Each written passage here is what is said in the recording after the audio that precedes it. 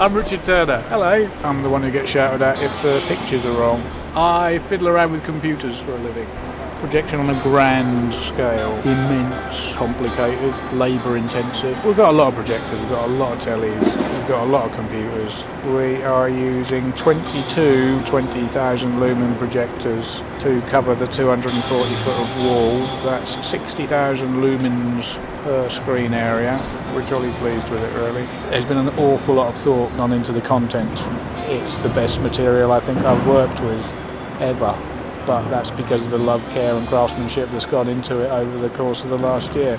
At the start of the show you don't know whether it's paint, you don't know whether it's still image projection, video projection, the subway trains in another brick in the wall. All we've seen up until that point in the show is a texture that's been projected on the wall. Instantly comes alive and there's a lot of clever subtle tricks in that. A lot of the places where the 3d animation gets mapped to the individual bricks on the wall like in run like hell which in fact was done by another good friend of ours ben Ibb in london.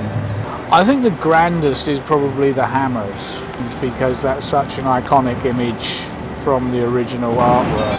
I feel honoured and very emotional actually.